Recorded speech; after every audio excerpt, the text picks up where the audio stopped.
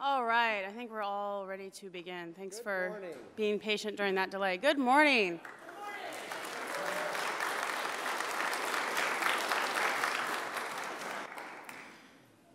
Welcome to day two. Uh, before we get started, we have a very important matter to, to discuss. It is uh, one of the uh, perils of having our conference in late June for those of us who has birthdays is that sometimes we have to work uh, the conference during our birthday. And today is Melissa's birthday.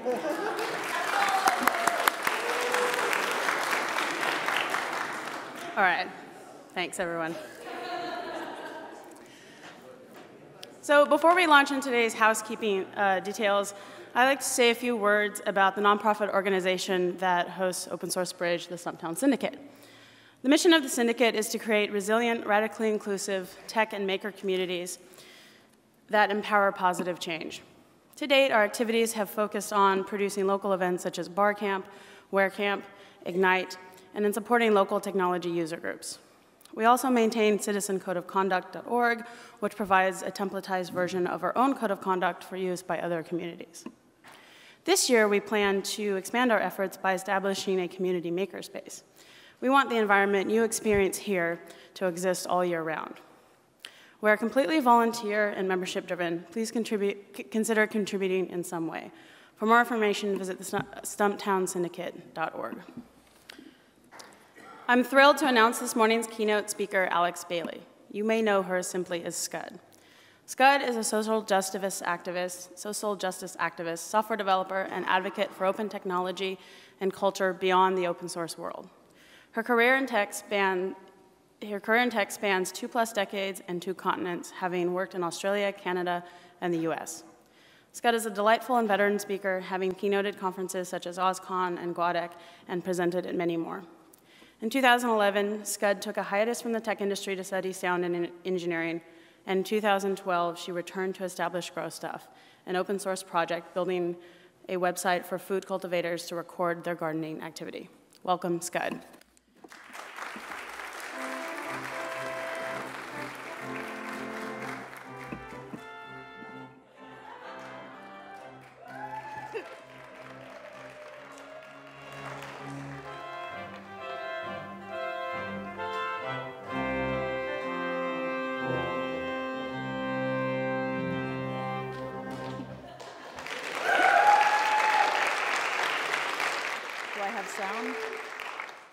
Sound. Can you all hear me? Good. I thought they were joking when they asked for organ music requests, but I'm really glad I picked that. so I wanted to thank everyone for bringing me here and to the sponsors and to Open Source Bridge. This is one of my favorite conferences in the world, and I've been to quite a lot of them. So uh, I'm really delighted to be able to make it over here this year. I missed last year, I've, I've missed a couple, but I really thank you all for um, making it possible for me to be here and for being the awesome people you are. Open Source Bridge is a conference unlike any other technology conference I've ever been to, so big thanks. Uh, I thought I should introduce myself because I do know many of you, but some of you are like, who is this person? So uh, I've been in open source longer than I care to think, but about 20, no, 10, uh, lots of years, 20 years now um, and mostly in the Perl community, where I know many of you from. And I worked in Perl up until about 2007, and then I started working for an open data company. So I've been doing open data for a while and other uh, open stuff beyond open source. So I sort of went out of open source for a bit, and then I quit the tech industry, and that didn't really stick for very long. And then I sort of came back in, and uh, now I'm working for myself, which is very nice. And I'm back doing open source, but also open stuff, again, beyond uh, just the pure open source software area. This talk's actually part of a process that started last year, and in a way, this is the sequel. So I'll just sort of give you the previously in talks I have given. Um, I was at GUADEC in Spain in uh, about this time last year, where I spoke about open communities everything from sort of Wikipedia and Creative Commons that are quite close to what we do here to sort of more obscure things that we can conceive of as open communities. So at the time, I suggested um, Occupy Wall Street, and I also suggested community gardens. And I defined open communities as communities that are open to everyone to come in and participate freely, and where they build something and give it away for free. So, by that definition, to me, you know, something like an, a community garden, and I know there are many of these in Portland. I actually walked past one on the street this morning to the bus, and I was like, yes, it's a sign. Um, but community gardens are open communities. So I said this in my talk, and then over lunch, I sat down with a guy called Federico, who's one of the founders of the Linux GNOME desktop stuff, and we were talking about gardening, and he's a permaculturist, and, and we were just talking about this stuff. And he said, Do you know any open data um, like collections where I can find information about crops and when to plant them for anywhere in the world. And I said, no, that's hard. And I gave him this whole lecture about why that's hard and you can't do that, um, which mostly has to do with governments. Um, but I said, if I were going to do that, I would crowdsource it. I would make a website where everyone just keeps track of their own gardens and then, um, then you aggregate them and and you can get the full data on who's growing what where around the world. And Federico said, Oh, yeah, that sounds good. And off we went. And I slept on it. And I came back and I said, So, you know that thing I talked about yesterday? I think I'm going to do it. So that's what I've been doing for the last year. Um, so this is a sort of ongoing story of Growstuff as it, as it became, and what I've learnt from it. And the main thing I've learnt that I want to sort of talk about today is that growing food and writing code are remarkably similar. So when I um, started to work on Growstuff, I, I got into a government program in Australia where they put me through a small business management course because I kind of set this up as a business. And um, we had to learn, you know, accounting and how to do our taxes and things, but they also had marketing classes. And once I got over my initial, oh my God, reaction, because we know how techies are meant to feel about marketing, right? It turned out to be very useful, but they made me go out and survey and interview lots of gardeners. And you know, that was really informative and very useful. But one of the gardeners I talked to said something that just really made me think. Her name's Ivy. She's someone I've known online for a decade. And um, she's, she and her wife and her four year old son live in uh, the suburbs of Los Angeles. And the four year old son is a bit of a fussy eater. And when I say that, I don't mean that he won't eat interesting food, I mean that he will only eat interesting food. He is, they call him the baby Alice Waters, and he will only eat local, heirloom, organic produce. And he can tell by taste. If you offer him a substandard tomato, he will just be like, uh uh-uh. um, so these people have a veggie garden, and they're not expert gardeners, but they have a good climate, and they mostly just put seeds in. It's they, you know, huge garden and amazing tomatoes grow. But one year, Ivy had trouble with her uh, with her vegetables, so she got online, and this is what I was asking her in the research. I said, you know, do you use online resources for your gardening? She said, well, I went to this one forum one time, and I said, you know, I'm having trouble with my zucchini or whatever it was. And all the people were like, oh, well, have you done a comprehensive soil test? Because if you haven't done that, it's just not worth the bother. And what sort of greenhouse do you have? And what is your like um, soil improvement regimen? And she's like, what's the soil improvement regimen? and, and she sort of just left and she never came back. I thought, oh, that sounds familiar. You know, I've seen that on Hacker News. Um, so we have this thing where online communities love to be really cool and elite and they're the best.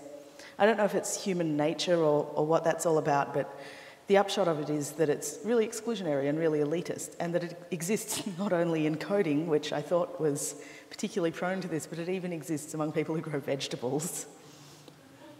And it's sad that people are intimidated away from gardening because growing food isn't hard. Right? I mean, basically, food would grow even if we did nothing.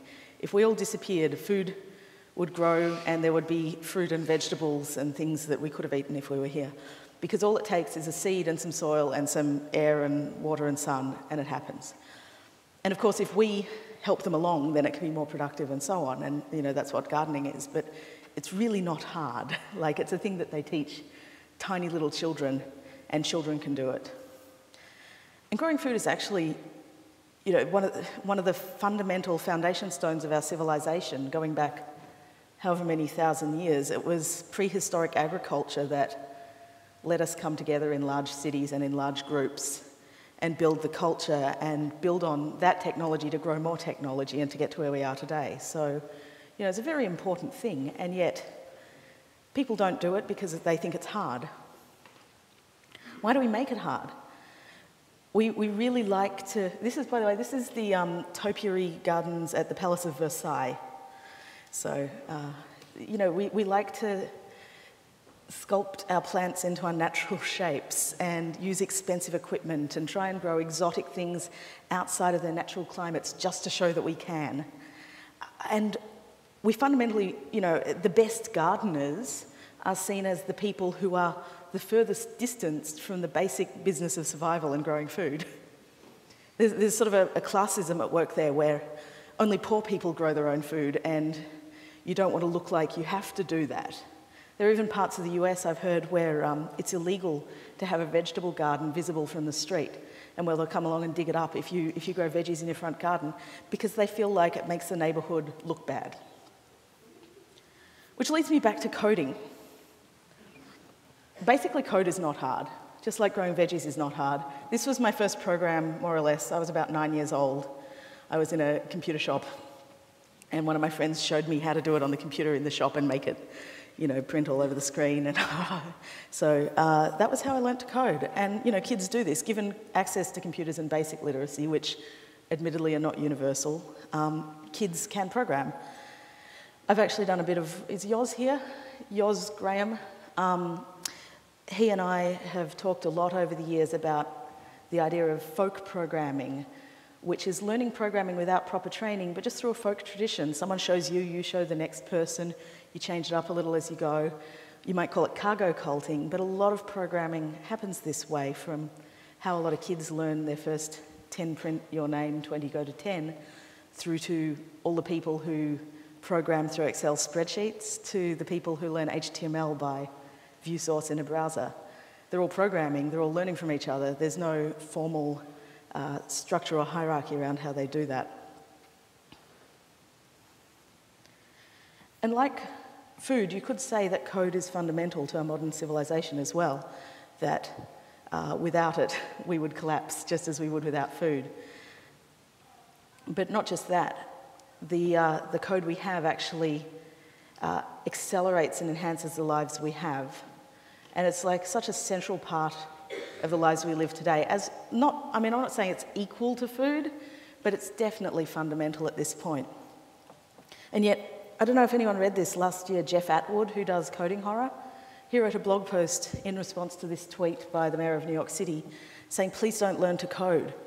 He said we should specialize and we should concentrate the coders in uh, businesses that specialize in that. And people like this mayor shouldn't learn to code because it was a waste of his time. Funnily enough, like a week after that, um, the judge in the Oracle versus Google case uh, learnt to code and managed to like toss out Oracle's arguments on the basis of uh, they'd said that it would take an experienced coder a month to write some code, and the judge is like, come on, I did that in five minutes. So I don't know what Jeff Atwood has to say to that, and I, I wonder if he's you know, changed his mind about this at all. But it does show how important it is to know code no matter what area you're in. But we're at the point where, where most people don't know how technology is made, just like most people don't know how food is made. And, you know, by analogy with big agriculture or big pharma, you know, big tech, likes to keep it that way. They want to um, preserve their interests. And so we get a lot of consolidation. We get these big tech companies, you know, just eating up smaller tech companies until you just have a few big ones. And we have these platforms instead of open APIs. And we're starting to get a lock-in where you have a choice of which of these, uh, you know, big platforms that you use, but they're all kind of bad for you. Right? They're bad for your privacy, they're bad for your attention span. Uh, most importantly, or I think most importantly, they're bad for your self-determination, for your ability to do what you want to do with your data and have your own sovereignty over that. So this is um, a town in the UK, in the south of the UK, Devon, um, called Totnes, and it's a transition town. And the transition movement is something that started in this town around about 2005-ish. Uh, it's basically like a left-wing survivalist group. I don't think they'd like me describing it as that, but instead of getting their shotguns and running for the hills, uh, what they did is they stayed where they were and decided to build resilience in their community. against what they saw as the impending infrastructure breakdown that would be caused by peak oil and climate change. So when they talk about infrastructure breakdown, they're thinking about things like transport and energy and food systems and the economy. And so transition towns exist all over the world now, and they're doing things like building local alternative power hubs and uh, car sharing and community gardens and things like that. In the tech world, we can think about infrastructure breakdown, not just, you know, like a backhoe going through a cable, but also things like, you know, Google Reader closing down is an infrastructure breakdown that we're experiencing. Or even things like business model breakdown, where you're using a product that, or a service that has no business model and so it shuts down, or one that has a business model that's not really working out for them. And so they start uh, basically slapping more and more ads all over the, the service until it degrades to the point of unusability. And I think we've all seen this, right? So, what would transition or resilience mean for the tech community? Whereas we already support a lot of those values in open source, and I know most of the people here would agree with that today, that we, uh, we value independence and redundancy and having options and choices. And we value skill sharing and building community and connections between ourselves, between each of us. So we've established that growing food is vital to society and is a basic skill that we can all learn, right? And so is tech. But for some reason, we're artificially making this difficult for people to get involved in. Recently, working on grow stuff, and especially working on grow stuff sort of from my kitchen table at home, outside of the tech industry, and without having to sort of get involved in a lot of the startup culture sort of stuff that goes on. I've been able to take the time to think a bit about what's going on there and how to avoid that in grow stuff. And um, a lot of that has to do with minimizing elitism and minimizing ego around code. Not making it all about what's the fastest or the sexiest or the latest or the shiniest or who's got the biggest pumpkin, but about helping and supporting each other at whatever level or whatever stage we're at.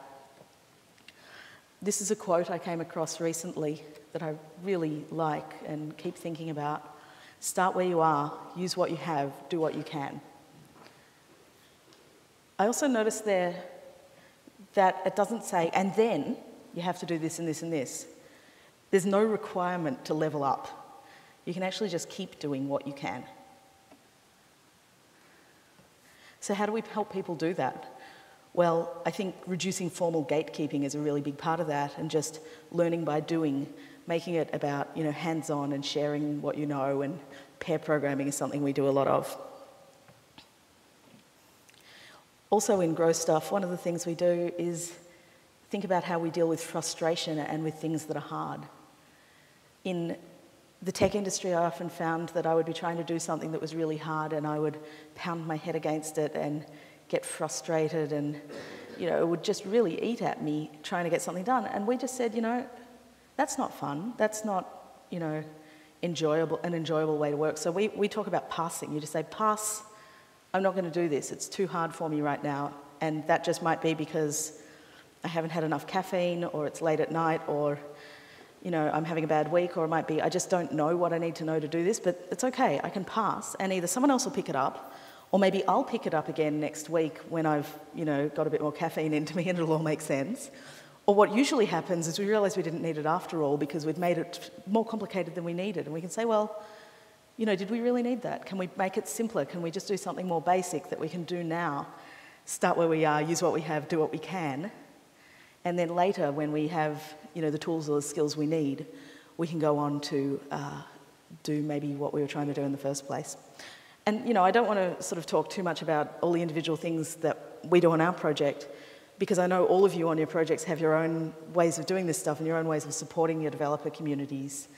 And I think, you know, it's important that you do that in a way that sort of speaks to your people and your culture. So, you know, keep on doing that, that's great. But, you know, we, we need to all be doing those things. But beyond our own projects, our individual projects, I think we could be doing other things like supporting indie tech companies, the equivalent of the farmers markets of the tech world. As they say, you know, know the producers, connect with the people who, you know, build your software, build networks with them, know where your technology comes from. It's not as efficient, but it's better for us. And you know, you can have too much efficiency. You know, economies of scale aren't always good. Uh, I've been reading some blog posts by Anil Dash, who is a blogger that I really respect and has been writing some really good stuff lately about income inequality and class in technology. One of the things he pointed out is that venture capital funded tech companies concentrate wealth. They make a 1% very, very, very rich at the expense of 99% of users and even of many of the people who are building the tech. He also has a really good post, which I recommend you hunt down, about blue collar coders, about people who don't have a you know, postgrad degree from Stanford or MIT. They might have vocational training, or they might have no training, or just on the job training. They've got their sort of local skills that they're using you know, in small businesses, just wherever they are. And as techies, we sort of denigrate this, even at the same time that the tech industry is complaining about skills shortage and that they can't find enough people to work in tech. I mean, we've all mocked unskilled coders and the sort of WTFs and the bad website developers and the MCSEs. We've all had a joke at their expense, right? But in doing that, as I'm coming to realize, we're perpetuating an elitist hierarchy which magnifies and mirrors existing social inequalities, and I think I'd rather not be doing that. So instead, what I would like to see is people from all backgrounds and levels of skill, whether they have the PhD from Stanford or you know, the one line of you know, basic that they know how to write, uh, coming together and forming a, a complex and resilient ecosystem in technology. We're probably not going to get rid of you know, big tech any more than we'll get rid of big ag or Walmart, much as some of us may like to. Uh, I think you know, it, it's going to be a, a mixed environment of all different stuff, but let's make sure we have options and have a diverse ecosystem so, coders, if you have the opportunity, please help someone out there seize the means of production and make programming more accessible. I know there's a lot of groups that are already doing that, and um, some of you may be involved in Railsbridge, Girl Develop It, um, various summer outreach programs that run around the world, and push back against rock star culture, the idea that we have to be elite and cool and, and you know, that person and help people fight their imposter syndrome. Imposter syndrome has a couple of elements to it, but one of them is that there's an expectation set that you need to be a rock star. Remind people that no one's actually, oh, well, some people are expecting it, but that we're not expecting that. And help flatten out those inequalities that we see in the tech world. And who here gardens? Who has a veggie garden? Okay. Whoa, Portland. That's awesome. For those of you who do not have veggie gardens, please see those people. If you want to learn how easy it is to grow stuff, talk to them. This is me. Uh, get in touch with me anytime. And this evening in the Hacker Lounge, we're also having a bit of a grow stuff hack session slash information slash tour of what we're doing. So please come join us then. And I have Tim Tams. Thank you.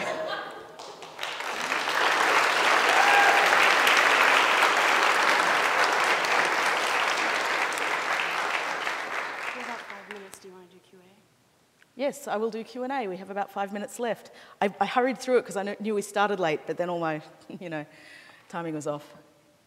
Val. great talk. Thank you. Uh, you have... I think it's called Open Source Bridge. um, I mean, there are pockets of it everywhere. Hmm? Uh, the question was, is there a place where people try and fight techno-elitism, or is it just individuals here and there? And I said, I think it's open source bridge. Some other events I know that Ada Camp, which Valerie and some others here are involved in, is one of those places. And uh, if anyone has any suggestions for other events along those lines, I'd like to hear about them. Mm-hmm. Uh, that, uh, that suggestion was for 27C3, uh, which is a conference along that has um, lots of talks online on these subjects. Yes? Mm-hmm. The answer there was that Barcamp which is a response to Foo Camp, uh, which was O'Reilly's conference, which was invite only. Barcamp is open to everyone. Any other questions? Okay, thank you.